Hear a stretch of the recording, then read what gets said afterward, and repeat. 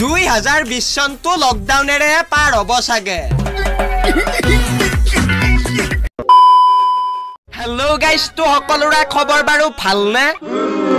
তো আজি মই তোমালোকৰ আগত ক'বলৈ গৈ আছো কেইটামান অসমীয়া ফান্নি মিমছৰ বিষয়ে। তো অকণমানো পলম নকৰি আজিৰ এই ভিডিঅ'টো এনজয় কৰা। ভৱিষ্যতবাণী কৰা জ্যোতিষীজনেও সোধে লকডাউন কেতিয়া খুলিব?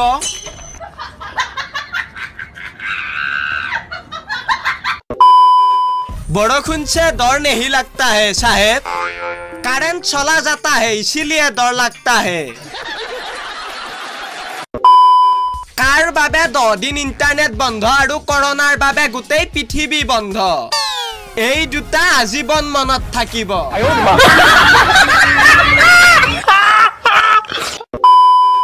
মন দিছো ফোন দিছো দিছো গল্ডেন ৰিং তাৰ পিছত ৰাতি ফোন কৰি দেখিছো ইয়ৰ কল ইজ ৱেটিং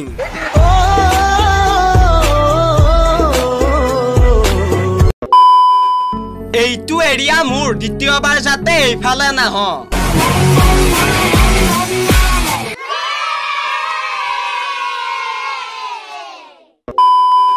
কাৰোবাক ভাল পাই হৃদয় নষ্ট কৰাতকৈ মদ খাই লিভাৰ নষ্ট কৰাই ভাল।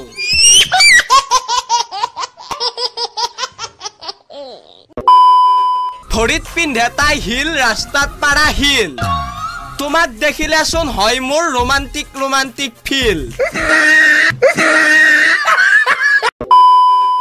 ঘৰত বহি বহি অনলাইন ক্লাছ কৰাৰ পাছত ইলেক্ট্ৰনিক ইঞ্জিনিয়াৰ।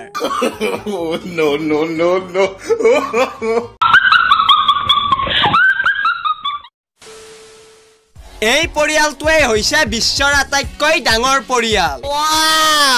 এক দেউতা ঊনচল্লিশ পত্নী আৰু একশ চাৰি গৰাকী ল'ৰা ছোৱালী দেউতাকৰ নাম আকাশ মাকৰ নাম মেঘ আৰু ছোৱালীৰ নাম বৃষ্টি। তেনেহলে জোৱায়েকৰ নাম কি হ'ব? গাইজ তোমালোকে কি নাম হ'ব পাৰে বুলি ভাবা? কমেণ্ট কৰি জনাবা। তো ফ্ৰেণ্ডছ আজিলৈ ভিডিঅ'টো ইমানেই।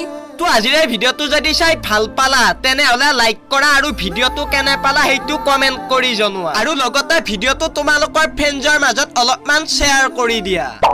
তো ফ্ৰেণ্ডছ পুনৰ লগ পাম আন এটি ভিডিঅত তেতিয়ালৈকে।